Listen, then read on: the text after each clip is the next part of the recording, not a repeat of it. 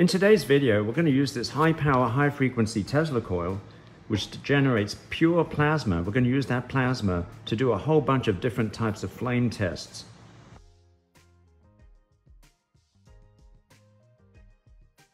So these are all the element samples that we're going to test in our flame. And we have a whole bunch of things here, including metals, uh, group two elements, group one elements such as uh, lithium and uh, cesium and uh, things like sodium. We're going to even try boron in the form of boric acid. That's supposed to produce an intense green color, which will be interesting. Let's start with cesium in the form of cesium chloride.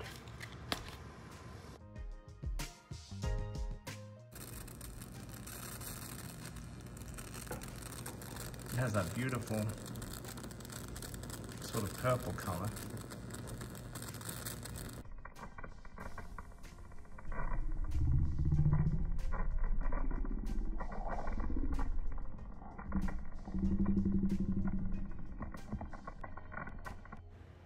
Next, lithium metal.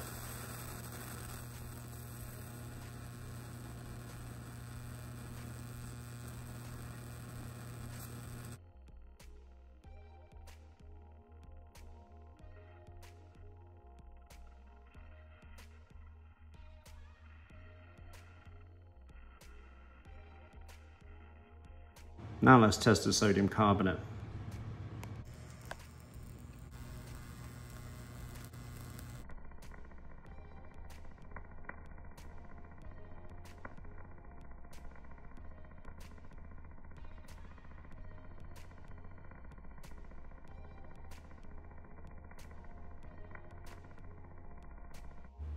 Next is calcium.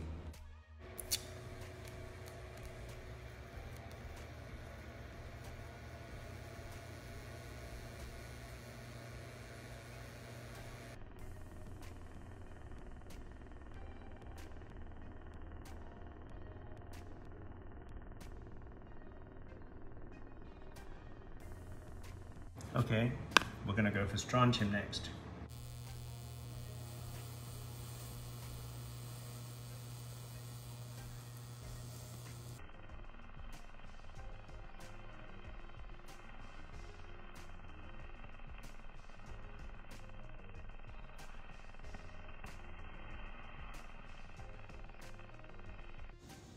Okay, we're gonna cut a piece of barium metal and test it.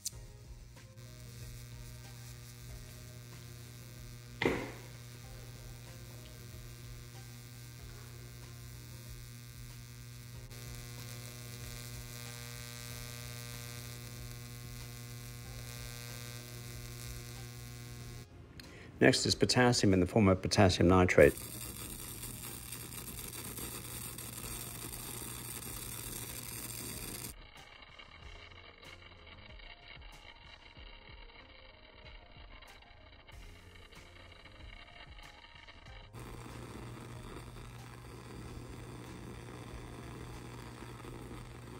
And finally, last but not least, is boron.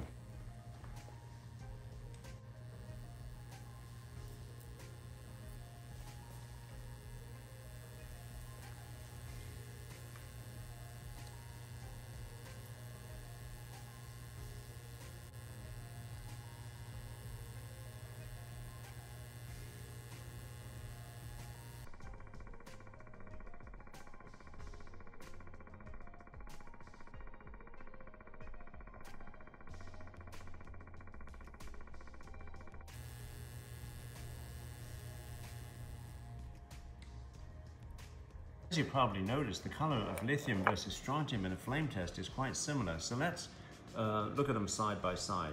Lithium apparently is supposed to be more pink than strontium, but I really found it hard to tell.